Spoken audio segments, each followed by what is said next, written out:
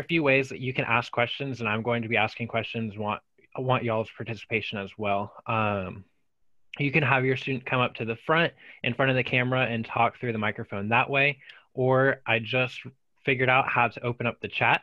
Um, so if you want to put it in the chat, then we can address it that way as well, uh, whatever works easiest for y'all. I'll go ahead and share my screen. We are going to be talking about Andrew Jackson and the Trail of Tears today.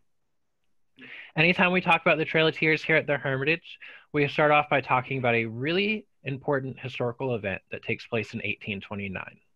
Uh, some people say that it's even one of the most important historical events in American history, but not many people really know about it. It was actually America's first gold rush. A lot of times we think about the gold rush in California, that doesn't happen uh, for many years later, but we actually have our first gold rush in Georgia. And it's kind of right in this area here in a town called Dahlonega or Cherokee Nation, because it is Cherokee land at the time, would call it Talonica. Now, Talonica is Cherokee for yellow money. So, given the name yellow money, you can probably assume that Native Americans knew that there was gold there, right? Well, a white settler comes in, he finds a gold nugget about the size of an adult fist. And because this guy is much like me and can't really keep a secret, uh, he goes around telling everybody about this gold that he found. And then white settlers start coming in and they start mining for that gold. The problem with this is that mining for gold is a very dirty process. You have to take mud and dirt in a bucket, you have to sift it through the water, send all that mud and that dirt down the river. It was choking out streams and rivers, and it was uh, destroying entire villages and killing off wildlife. So Cherokee Nation went to the governor of Georgia, Governor Lumpkin, and they asked him to stop mining for gold. But Governor Lumpkin didn't really care, and he didn't listen. So Cherokee Nation takes it to the Supreme Court. The Supreme Court rules that what Georgia is doing is unconstitutional and they need to stop. But what do y'all think Governor Lumpkin said? He said he doesn't really care, right? Because at the time, states had more power than the federal government. If the federal government created a law, they didn't really have to listen to it.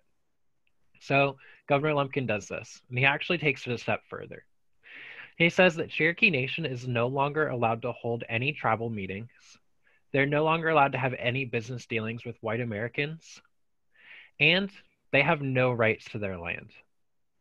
So he goes directly against the advice of the Supreme Court and he continues um, to really just kind of take over that Cherokee land and take advantage of them. The federal government knows that they need to do something to step in at the time, Georgia territory went all the way out uh, to the Mississippi River. It took up states that we know today as Mississippi and Alabama. So the federal government said, if you give us that land so that we can create those states, we will remove Native Americans from Georgia, send them west to those lands, uh, you can, take, you can take that land. Let me just, here we go. Andrew Jackson was not the first president to talk about Indian removal. It actually goes as far back as our first president, George Washington. He says if Native Americans could just assimilate to white culture, then everything would be perfectly fine.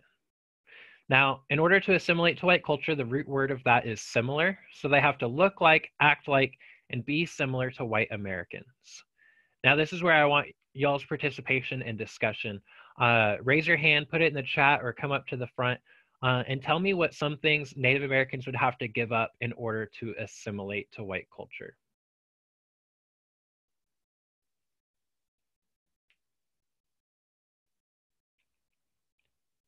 All right, how about Eugene Ware? I saw him get up first.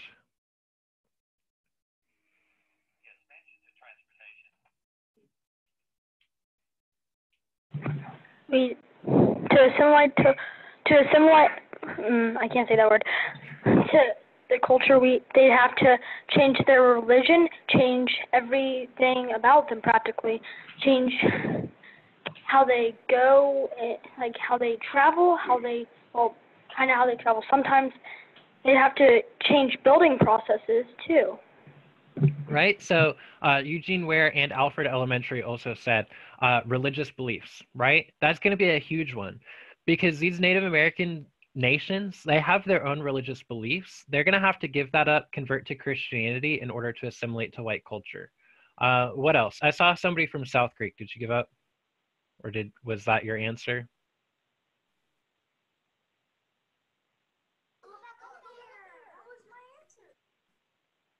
That was your answer. What else? Religious beliefs. All right, South Creek. Uh, they might have to give up some of their land. They don't necessarily have to give up their land, but if they don't assimilate, then they will be removed from their land.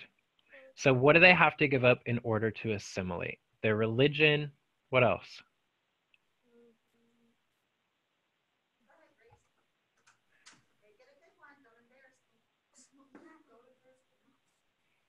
Work practices said uh, corpus christi. Yeah they're going to have to give up some of those just kind of everyday work practices.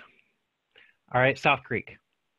They would have to give up practically their entire culture, their history, their right. folklore, their their celebrations. It would just all yeah gone. pretty much their whole way of life their celebrations their their practices. Alfred said what they wear absolutely right?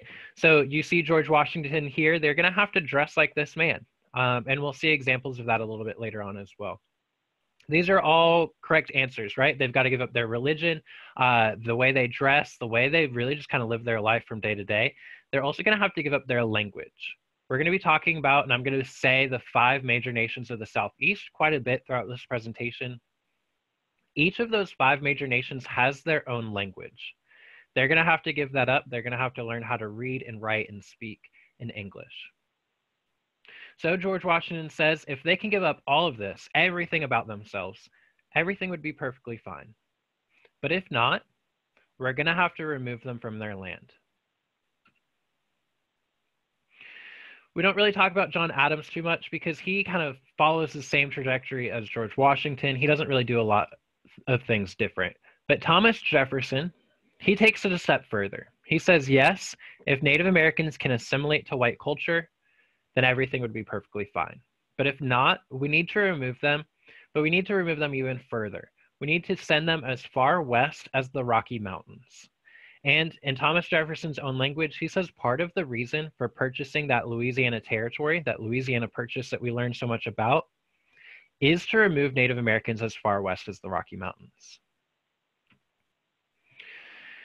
Henry Clay, he never officially becomes president. He runs against Jackson a few times. He takes it even further. In a direct quote from Henry Clay, he says, These Indian savages could never assimilate to white culture and their disappearance from the human race would be no great loss to the world. So, what is Henry Clay saying? What do you think his approach is going to be? I see a hand in South Creek.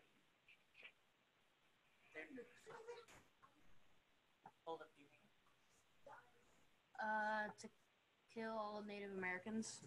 Yeah, that's exactly what his approach is going to be, right? He says we should just kill the Native Americans and take their land that way. We show you this because these are three different approaches even before Jackson enters the scene. So George Washington says we need to remove them west to Mississippi and Alabama. Thomas Jefferson says we need to remove them as far west as the Rocky Mountains. And Henry Clay says we need to just remove them altogether. Then Andrew Jackson becomes president. Uh, this is Andrew Jackson here. This is what many Americans would see in the newspaper after Jackson gets elected president. You can tell he's got his military service, he's ready to go to battle, and he looks pretty brave and courageous, right? His face doesn't look scared. He's ready to face whatever conflict might arise. This is a quote from Jackson's inaugural address. He says, It will be my sincere and constant desire to observe toward the Indian tribes within our limits a just and liberal policy, and to give that humane and considerate attention to their rights and their wants which is consistent with the habits of the government and the feelings of our people. So this sounds pretty good, right? If you look at it closely, he says sincere and constant desire. He didn't just think about it right now, he's been thinking about it for a while. He wants to observe within our limits. This is very important because the only time our nation has ever been debt free was in 1835 when Andrew Jackson was president. He pays off our nation's debt. He's not going to bankrupt our country, but he's going to do whatever he can within our limits to observe a just, meaning what's fair, meaning what's right, and liberal, meaning he's going to be very generous. Because he wants to give that humane, take the E off of humane, you get human, right? He's going to treat them like human beings. And he's going to give considerate attention to not only their rights, because he thinks as humans they have inalienable rights, right? US citizen, that's what our country is founded on, is we have inalienable rights. But he's also going to give them everything that they want within our limit. Because he thinks it's consistent with the habits of our government and the feelings of our people. Going all the way back to the Constitution, the Declaration of Independence, our country is founded on this, and he thinks all Americans can get on board. So, this sounds really good, right? But keep this date in mind March 4th, 1829. Less than a year later, in January 1830, this is what Jackson says to Congress. He wants to end conflict between state and federal government, right? Georgia is not listening to the federal government, not listening to the Supreme Court. He wants to end that, and give the federal government a little bit more power. He wants a place for the dense and civilized population to expand. The dense and civilized population are white Americans. Dense meaning we're overcrowded, we're overpopulated on the eastern seaboard, we need a place to expand. He wants to strengthen the southwestern frontier. As we continue to go west, he's going to send Native Americans west to be our first line of defense. He wants to relieve Mississippi and Alabama of Indian occupancy, right? As they got removed from Georgia, Native Americans got put in Mississippi and Alabama. He wants to remove them from those states and send them further west so we can settle those states. Wants to separate Indians from immediate contact with whites. Anywhere there's contact between the two, there's conflict. So he wants to end that contact altogether. Frees the Indians from the power of the states. Georgia's taking advantage of Cherokee Nation. He wants to put a stop to that. And then this last one kind of makes me really mad. He says it will help preserve their heritage and traditions. Native American heritage and traditions are very closely tied to their land. Cherokee Nation specifically, they believed that the West brought death, right? Because as you look at the sun, as the sun goes west, it sets, it dies every day. So even before Indian removal, they believed that the West brought death. So by sending them west, you're really sending them to their death sentence in their belief. So this one makes me mad because I don't know if Jackson didn't know their heritage and traditions or if he did and just didn't care. But by removing them from their land, he's actually stripping them of both of those things. Does that make sense? So, does this sound similar or different to this? And why?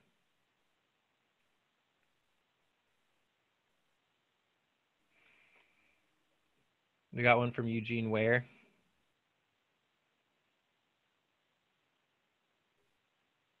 Corpus Christi says very different. Yeah.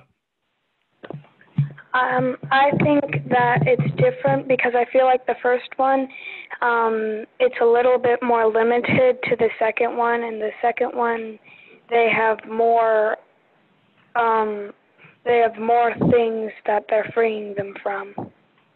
Right. So very different, right? How about South Creek? I saw y'all get up next. I feel like it was different because the first thing he was trying to protect their rights, and the second one he's just sending them away. Right. The first one, it sounds like he's protecting their rights. The second one, it sounds like he's just sending them away. How about Alfred Elementary?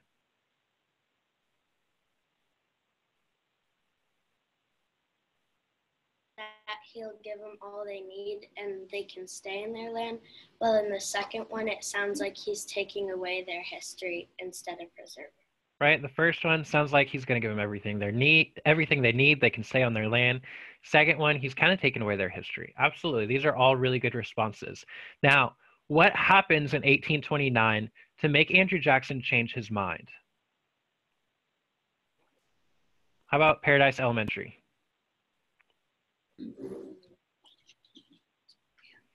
Uh, the wants of land and what and the resources that are on land. right? The land and the resources that are on the land. Remember what I said at the beginning? In 1829, they found gold in Georgia. Now Jackson's changing his mind, right? Maybe that has something to do with it. Now he wants that land. That land becomes more valuable. Why else do you think Jackson's going to be changing his mind here? Why do you think those two things are very different?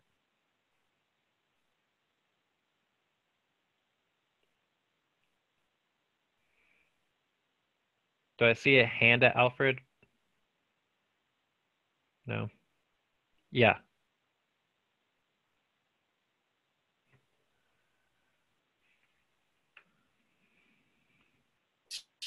In Georgia. Georgia, there's gold, and in the and in the west there isn't. Right. They know that there's gold in Georgia. There might not be gold in the west, so maybe send them out there because it's less valuable. Absolutely. Another reason why Jackson might be changing his mind here is because in here, this is a speech where Jackson wants you to get on his side, right? Whenever a politician is making a speech, they're going to say whatever they think you want to hear so you can get on board with them. And it might not always match up with what their policies are. So Jackson's trying to be politically correct here. He's trying to get you on his side. Here, he's just doing what he thinks he has to do. This is Elias Boudinot. Elias Boudinot was a Cherokee man. Um, but by looking at this picture, by looking at his life, he had really assimilated to white culture, right? Looking at his clothes, the way he does his hair, those are assimilation features. He gets a degree from an Ivy League university in New England.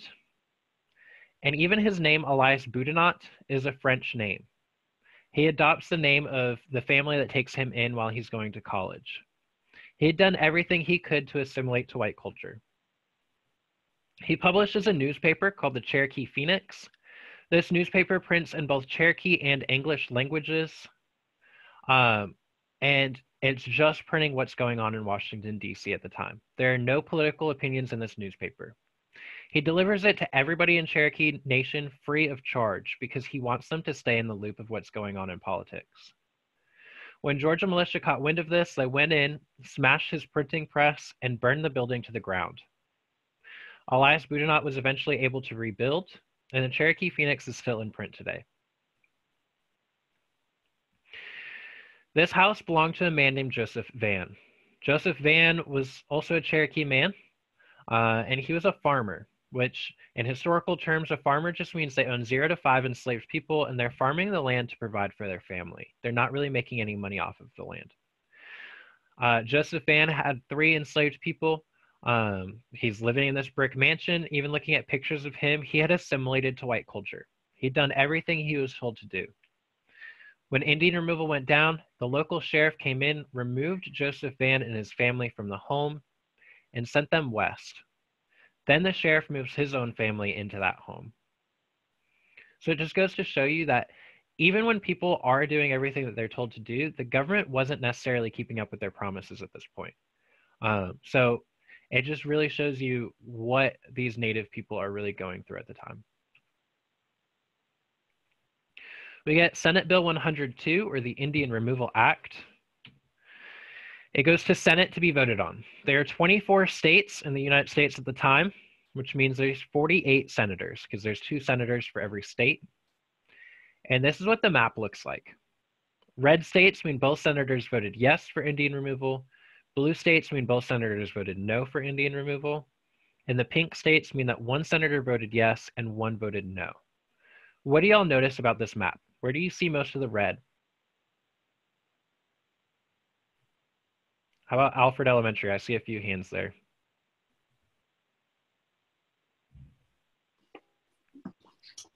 Um, it's like over like Louisiana, New York, and like near Florida, Pennsylvania, Ohio, and right. Michigan. Absolutely. All right. How about uh, Stephanie, homeschool group?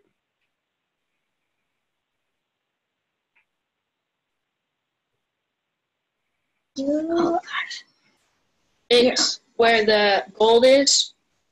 It's where the gold is, right? So you see it a lot in the South with Georgia um, and some of those other states.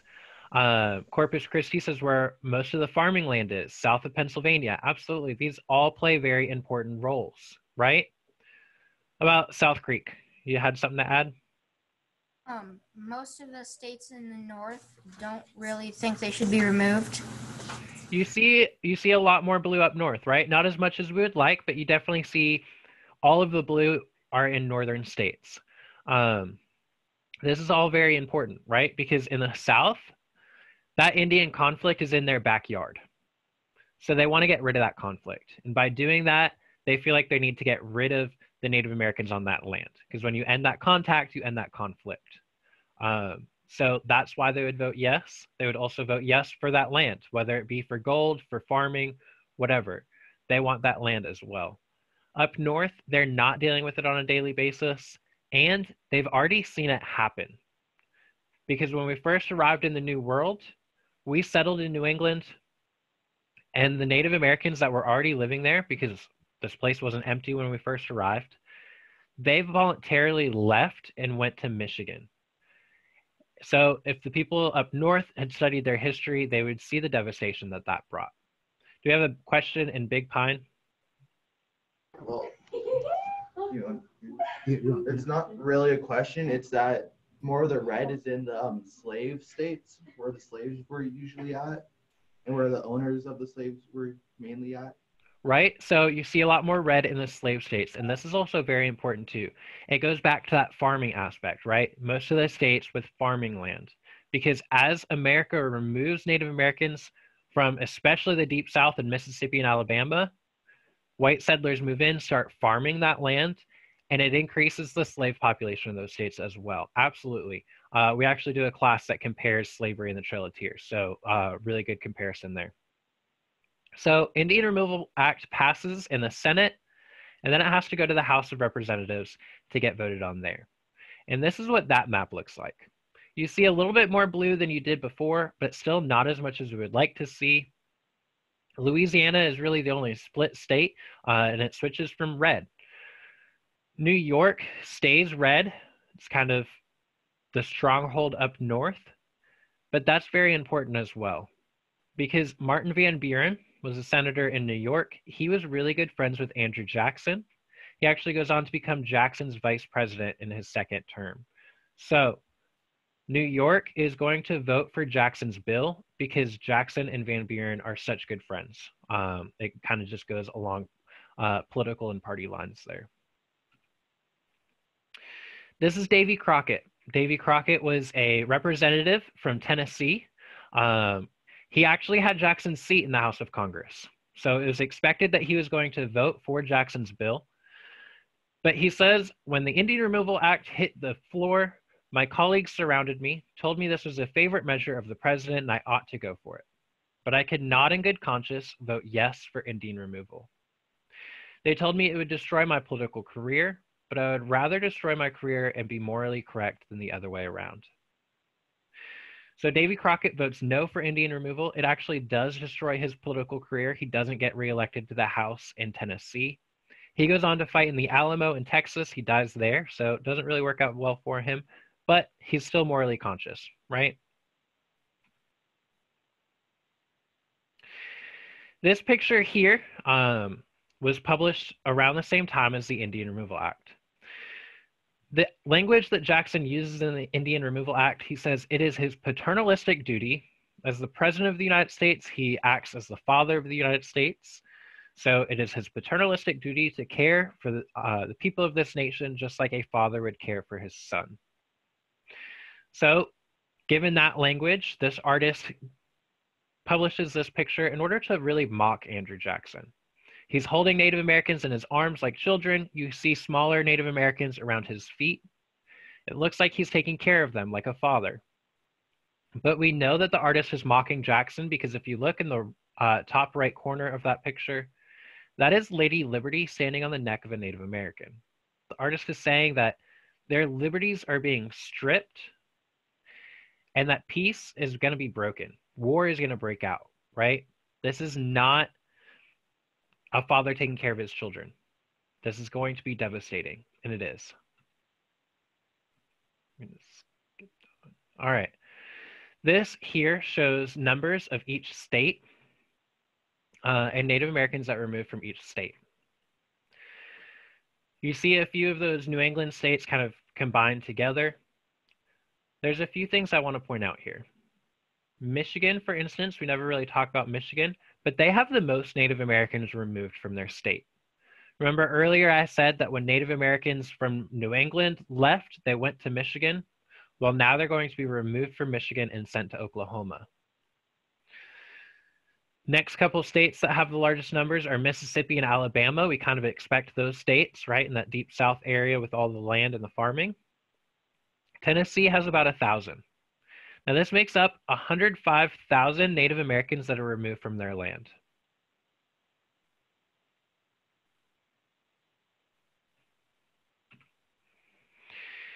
This right here is Principal Chief John Ross.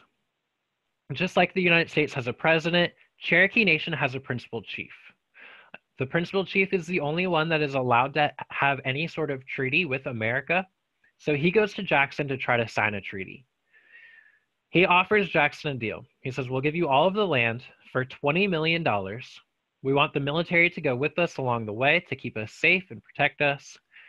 And we want you to provide food and clothing along the way as well.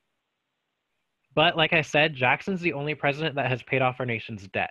He's not going to pay $20 million, put us back in debt to take land that he knows he could just take if he wanted to. So he says no. Then we get Major Ridge. Major Ridge fought alongside Andrew Jackson. They're pretty good friends. He thinks maybe he can make a deal with him. So he goes to Jackson. He offers him this kind of same deal. You can have all of the land for $5 million. We want the military to go with us to protect us. We want you to provide food and clothing. And when we get there, we want you to show us how to farm the land. Right? It's new soil, it's new climate. They don't know how to do that. And their whole livelihood depends on it. So Jackson's faced with paying $20 million or $5 million. And it's a pretty quick, easy decision for Jackson. He pays the 5 million. And we get the Treaty of New Echota. There's a few things to know about this treaty. One, it gives Cherokee Nation two years to gather all the food and all the clothing that they need um, for the journey. And two, and this is how this is still relevant today, the Treaty of New Echota actually gives a delegate uh, for Cherokee Nation in the House of Representatives. So it acts as kind of a territory, like Puerto Rico, Guam, they have a delegate, but they don't necessarily have voting powers in the House. Um, but the language in the treaty says that they can have that delegate when Congress is ready. And in September of 2019, Cherokee Nation actually got their first delegate in the House of Representatives. So 183 years later, this treaty is still taking effect. Congress is finally ready, and Cherokee Nation gets their first delegate. Another thing to keep in mind this is 1836. At the end of two years, it's 1838 and Jackson's not president anymore. So this doesn't really fall on him. Uh, Martin Van Buren, who will succeed Jackson, he kind of takes a lot of the flack for that. But like I said, this does give uh, Cherokee Nation two years to gather everything they need for the journey. But Cherokee Nation didn't think that this was a legal treaty because it wasn't signed by the principal chief. So they didn't take the two years to gather everything. And at the end of the two years, this is what it looks like. A Georgia volunteer says, I fought through the Civil War and have seen men shot to pieces and slaughtered by thousands. But the Cherokee removal was the cruelest I ever saw. This man went and forced people out of their homes and sent them west. Years later, he fights in the Civil War, the bloodiest war in American history, and still, he thinks Cherokee removal was even worse. We put this in here to show you that this isn't just a casual walk west to Oklahoma. It's devastating. It's basically a slaughter for Cherokee Nation.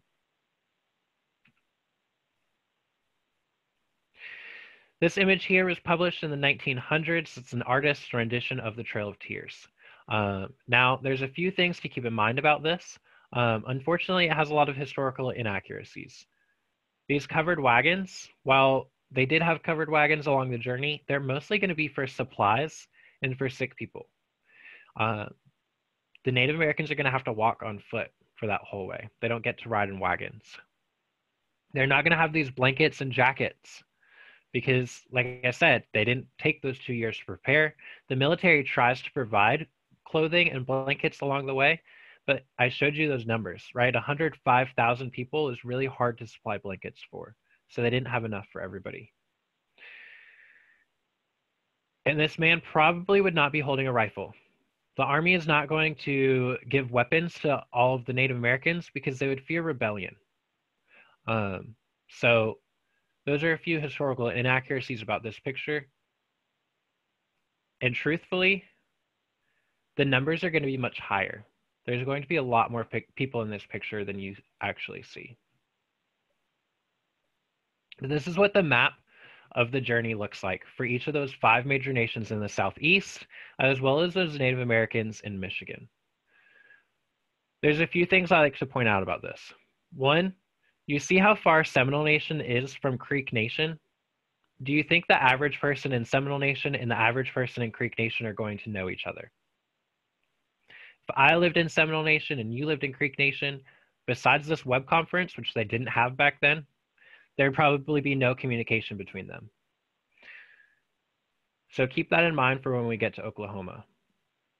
Choctaw and Chickasaw down here in Mississippi are combined together, but there's a lot of conflict between these two. So keep that in mind as well for Oklahoma.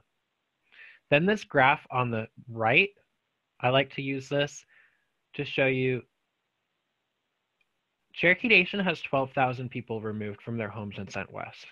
This is not an insignificant number, right? 12,000 people is still a lot.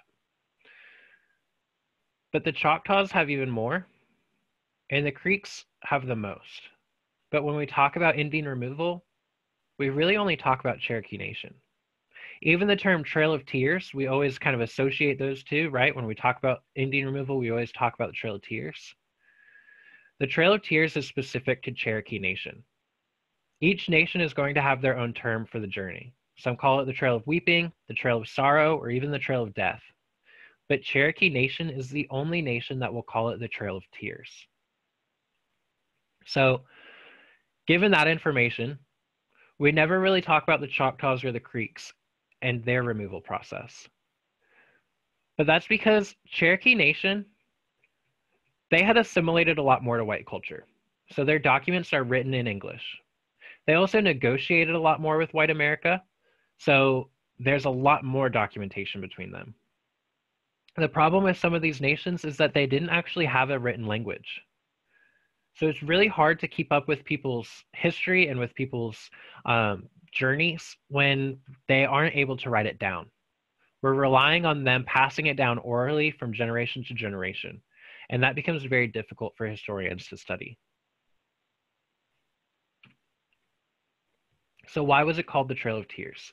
Even before the trail starts, these people are facing a lot of disease because once they're removed from their home, they're put in internment camps and disease spreads rapidly through those camps. So a lot of people will actually die even before the journey starts just because they're in those camps. They're also going to be facing starvation because while the military, the government provides money for the shops along the trail to provide food and shelter, a lot of those shops are keeping that money and not providing what they're supposed to. So these people are going to face a lot of starvation because of that. And also ex- exhaustion, because it is not just a 20 minute walk from Florida to Oklahoma, right? They're walking for months on end and they're being exhausted. This graphic here shows you some of that as well. Each of these names are a different branch of Cherokee Nation. Again, these are specific to Cherokee Nation. You see the name, the month that they left, so August and September, it's going to be hot, right? It could be up to 100 degrees in the south during those months. They're not going to be taking blankets and jackets with them. But they're marching through January, February, and even March. So they're marching through the thick of winter. They might be in a couple feet of snow, and they don't have those blankets to protect them. Elijah Hicks actually comes right here through downtown Nashville. Uh, that's how here at Andrew Jackson's Hermitage, we're part of the National Park um, Historic Trail for the Trail of Tears. While we're not technically a national park ourselves, we are on that trail. Um, and then Hildebrand down here, he faces the most loss. He leaves almost a month after everybody else, but he gets there just a couple weeks after everybody else. And that's because when they get to Oklahoma, land is first come, first serve. If you get there first, you get best pick of the land, but it's all relative, right? Because it's still just one state. You get there last, there might not be much room left. So he overworks his people. He faces the most death 455 people from that one group die.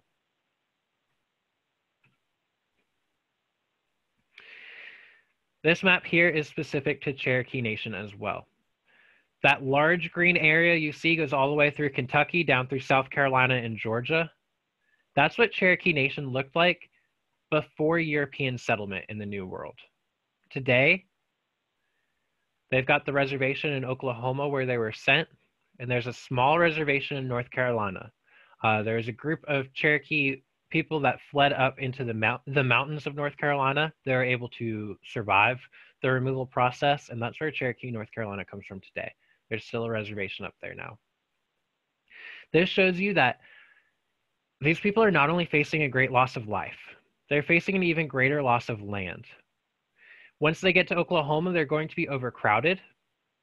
They're going to face even more starvation because it's hard to farm the land when it's overrun with people. You're, fa- you're cramming five or more major nations into one state. They don't have room to farm or even really move around at all. And this is what Oklahoma looks like when they get there. Cherokee Nation had assimilated more, they had negotiated more with white America, so they get the best pick of the land. They get that corner up there all to themselves, and they get an outlet as well. Creek and Seminole Nation, remember I showed you how far apart they are? Well, now they need to learn how to work together. They need to learn each other's ways of life and each other's cultures so they can live in the same spot. The Choctaw and the Chickasaw down here in the south, like I said, like I showed you, they were connected to each other. They were adjacent with each other in uh, Mississippi. That conflict that they had for centuries doesn't end in Oklahoma. It actually gets even worse because these five nations are fighting over the land, and conflict is going to arise more than ever. Not to mention, there were already Native Americans that were living in Oklahoma when they arrived. This wasn't vacant land the government takes the land from tribes that are already living in Oklahoma and gives them to the tribes that they sent west. We end with this quote Maya Angelou says, History, despite its wrenching pain, cannot be unlived, and if faced with courage, need not be lived again. We end with this because I understand that this is a really heavy topic. And as you all learn the nuances of it, as you learn more details about it, it really kind of only gets worse. I've been studying it for a while. It doesn't get any easier for me, but it is very important because if we learn from our past, if we face it with courage, we don't need to live it again. But if we forget about our past, if we brush it off and pretend it doesn't happen, it's only going to repeat itself. So that's why I'm glad you all are here joining us today. If you have any questions, uh, we've got about 20 minutes. I ended a little bit early this time. Um, please feel free to stick around, ask any questions you have, either through the chat or uh, through the microphone as well. I'll be here until, um, or I guess for the next 20 minutes until this is over.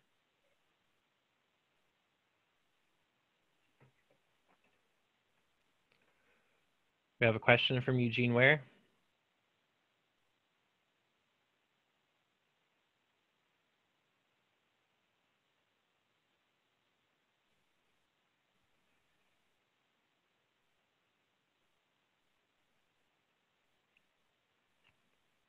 You got to push the button.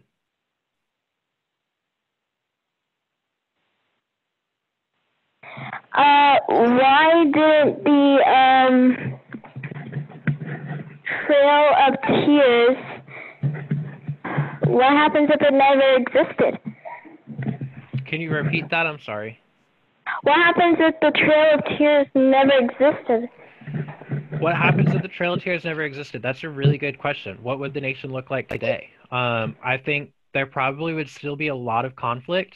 Um, and for one, a lot of people argue that um, Native Americans might not have survived all of that conflict, right? So they might have lost even more life um, if if that didn't happen. Looks like uh, homeschool Alex has a question.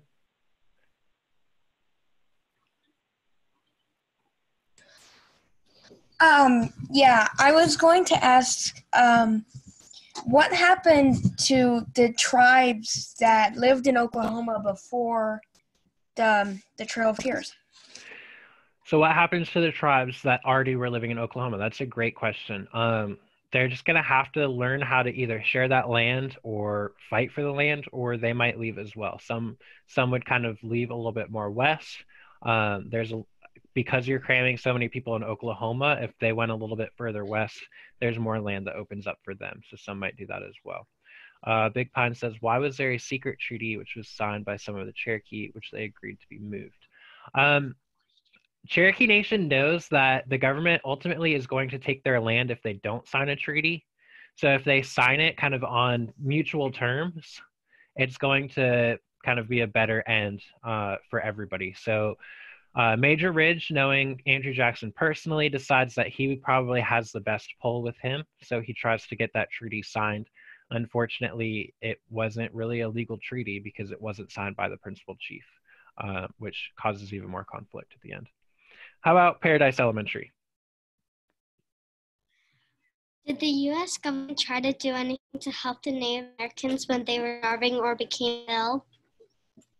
So they are going to have the military there to treat some of those illnesses. Unfortunately, back then medical expertise was not very high, especially when you're, you know, in the middle of nowhere on a trail. Um, sanitation, things like that are going to kind of make it worse. So even if they were trying to treat some of those illnesses, most of the time they couldn't. Great question though. South Creek. Okay. Um, did the natives ever have to get moved out of Oklahoma? And if they did, where were they moved after that? Great question. Um, and we get that question a lot. So as we're expand, expanding more west, um, because manifest destiny, right? Our nation wants to be from ocean to ocean. As we expand more west, there's actually a large boom or an influx of, of people moving to Oklahoma.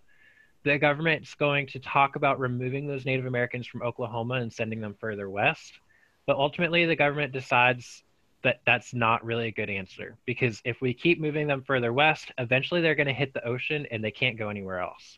So they decided to stop moving them west um, and kind of figure out the land that way. Um, some of them were still uh, kind of relocated in that process, but not the way that we see it here. Um, but yeah, great question. Uh, what will happen to the five civilized tribes when white farmers try to move west? Yeah, so that I hope that answered your question, uh, Bullitt.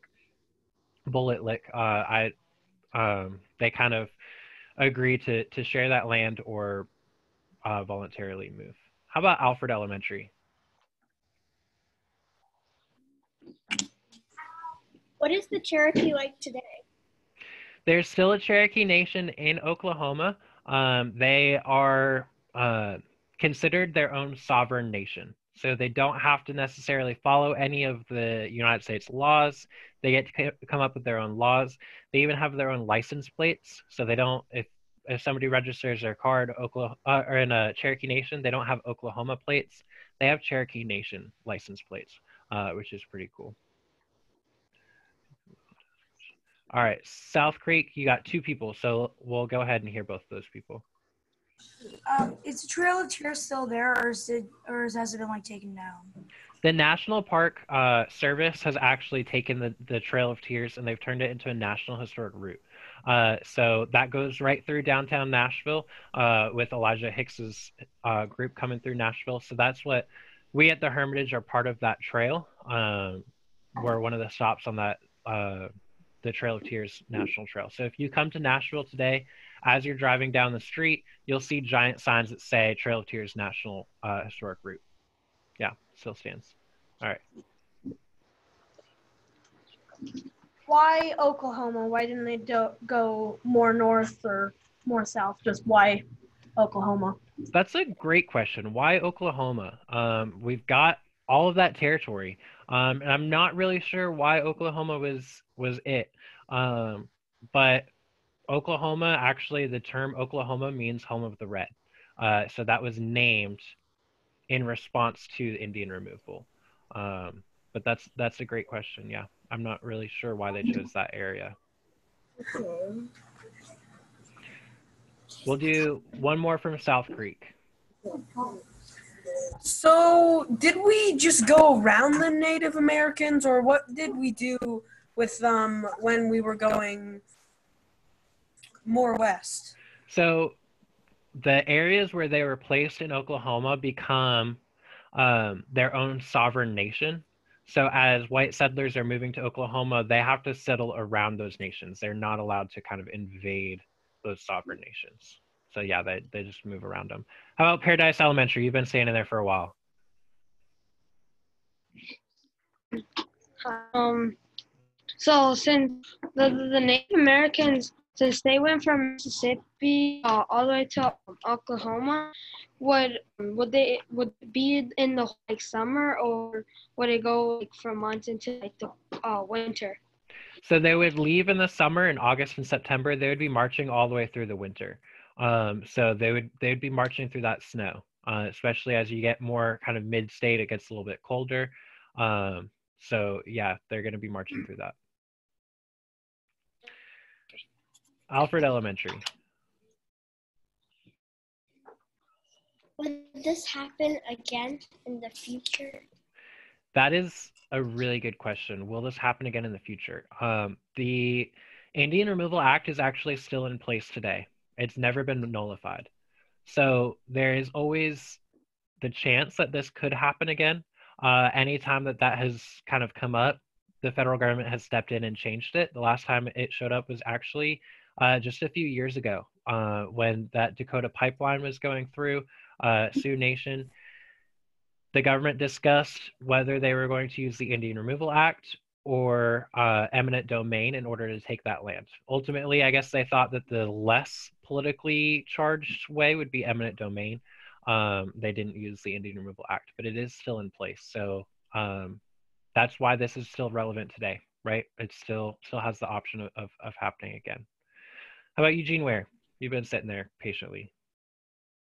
Um, so did the people, did the Indians that died on the Oregon trail, uh, on the Trail of Tears, did any of them get buried, or did they all just?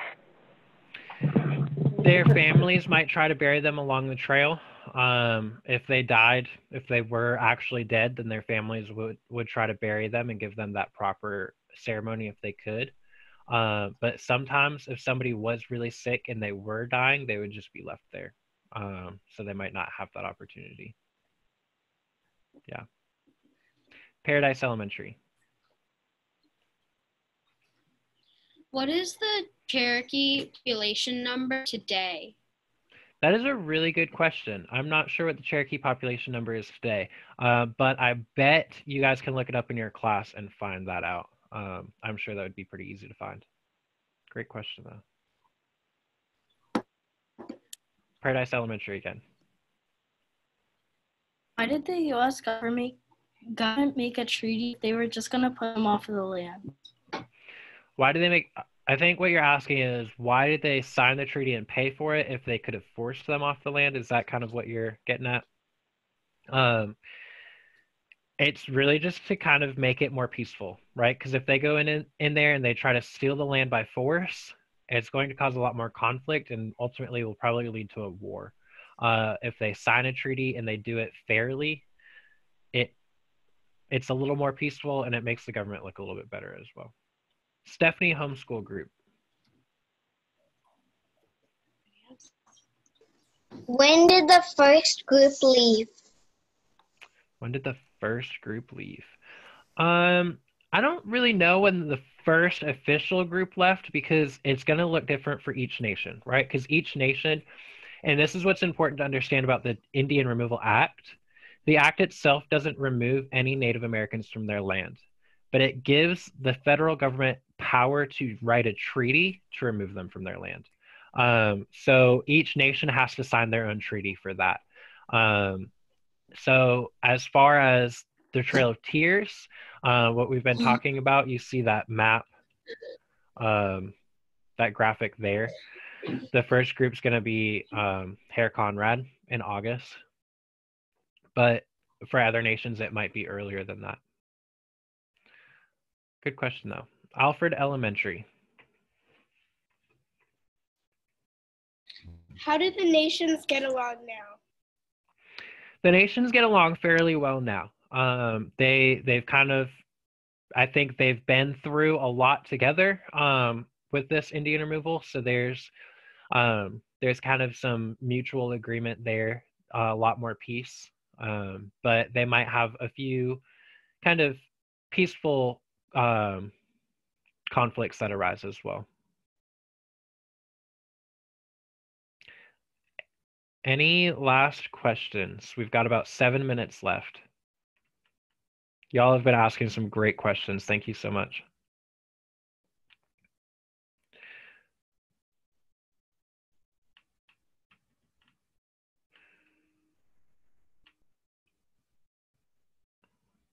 I think that um, homeschool Alex has a question. Okay, Alex? I, can't see the hand raise, so I'm sorry if you kind of do that that hand raise click and I don't see it. So yes, Alex homeschool. Um, yeah, I was wondering what is what was the first act that since they only since the Cherokee Nation only got their delegate September, what was the first act that the delegate um passed? Or Um, they haven't really been able to yet. Um, so the process that kind of happened to to give them that delegate, and this is a great question uh, to kind of go into. So in August, um, Cherokee Nation got a new principal chief because they still run off that same system of government. They still have a principal chief today. So they got a new principal chief, and that principal chief's first act was to appoint the delegate to the House of Representatives. And it only took them about a month to do that, uh, which is great. Um, another really cool thing is that the first delegate in the House uh, from Cherokee Nation is actually a female. Um, and this is really cool because, one, it kind of knocks down those walls, right? But also, Cherokee Nation, uh, as far as inheritance and kind of familial ties, it follows the mother's line. So to the point, a woman is is really kind of just right up, right alongside um, what they believe in, right? So the principal chief is always a man, but um, a lot of that power and a lot of that wealth follows the mother's line, which uh, is really neat to have a female delegate because of that. But yeah, they haven't had much time to um, to pass any acts in the House yet, so I'm interested to see what she's able to do.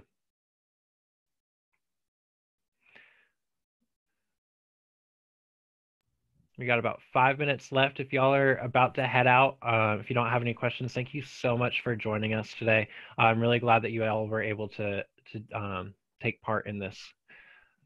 Absolutely. Thank you so much, Patrick, for all your knowledge and expertise. And for everyone that came, we really appreciate you joining us. Hopefully we'll be able to, you'll be able to join us again. Um, have a great day, everybody. All right, bye, y'all. Thank you.